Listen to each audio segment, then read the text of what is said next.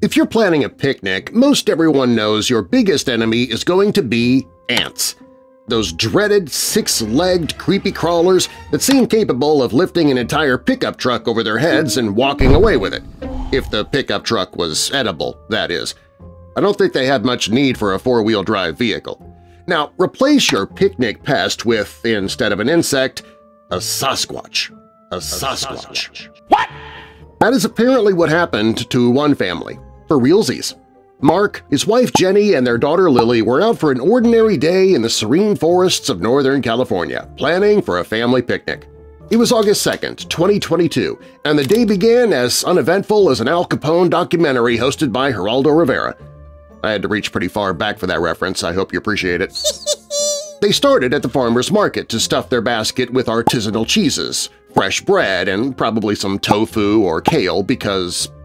California, and ventured into their favorite forest.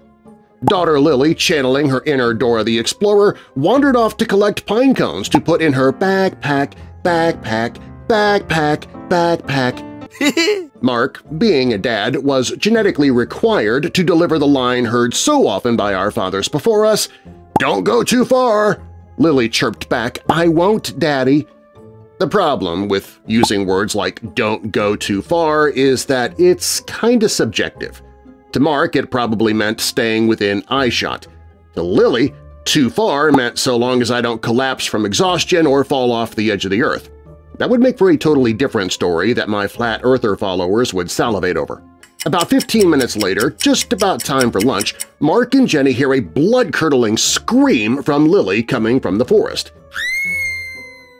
Sprinting towards the source, Mark and Jenny braced for a worst-case scenario involving a scraped knee or, heaven forbid, a lost pine cone, or, even worse, Lily falling off the edge of the earth. Either way, Lily would get a stern talking to. Did she not see the sign about keeping the noise level down in the serene forest? Did she not care about the sign, or did she not know how to read yet despite her recent report card? She did go to a California public school, so that might explain it. Or it could be that she had just come face-to-face with Bigfoot. Definitely not one of the scenarios Mom and Dad were conjuring in their craniums. Apparently the blood-curdling scream was only momentary shock because now there sat Lily, utterly unfazed and giggling by a tree log next to a large furry bipedal behemoth. And since we can rule out Chewbacca because the creature wasn't wearing a bandolier or packing a blaster pistol, the other option is Bigfoot. As if finding a hair in your egg salad sandwich isn't bad enough, this family had Harry the Hominid pulling a Yogi Bear to get close to their picnic basket. This was an eight-foot-tall, hulking mass of fur and muscle complete with piercing, dark, gentle eyes that either spoke of a wisdom never imagined or perhaps just a fondness for playing peekaboo. Literally, Lily and Bigfoot were playing a synchronized game of copycat, the giant beast mirrored Lily's every move, from head tilts to cheek scratches to peekaboo. It grunted in what can only be described as Bigfoot laughter, a low rumbling sound that echoed through the forest. My dad used to blame that sound on invisible elephants under his lazy boy. What? Who knew it was actually a hidden Sasquatch? Mark's brain short-circuited between the instinct to rescue Lily, the desire to yell, "Get your stinking paws off her, you damn dirty ape!" And the logic of not provoking the gentle giant at all, that last one probably being the best of the above options. Wife Jenny, meanwhile, oscillated between fear and awe, likely wondering if this would make for a viral TikTok. Lily eventually responded to her parents' panicked cries, probably more like whispered please so as to not tick off the gorilla Goliath, but you get my meaning, and she casually stood up, waved goodbye to her new giant furry Muppet friend, and skipped back to the picnic blanket, leaving Mark and Jenny alone with Dr. Zaius, who, ever the courteous guest, locked eyes with the couple for a brief moment before disappearing into the forest as if to say, "'Thanks for the play date." I can only assume the picnic did not go on as planned.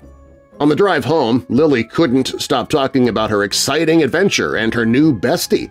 She described the creature as a great big puppy and expressed her disappointment at not being able to pet it. Meanwhile, Mark and Jenny debated their next steps.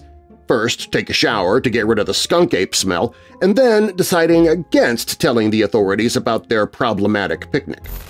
Instead, they turned to the most credible and reliable source available to man – the Internet and a cryptozoology forum.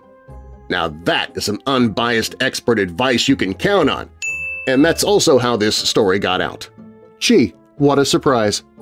You have to wonder if a close encounter of the Bigfoot kind negatively affects the brain because since this happened, apparently braver now or dim-witteder, I'll let you decide, Mark's family has frequented the same forest hoping for another encounter with Lily's Brobdingnagian playmate.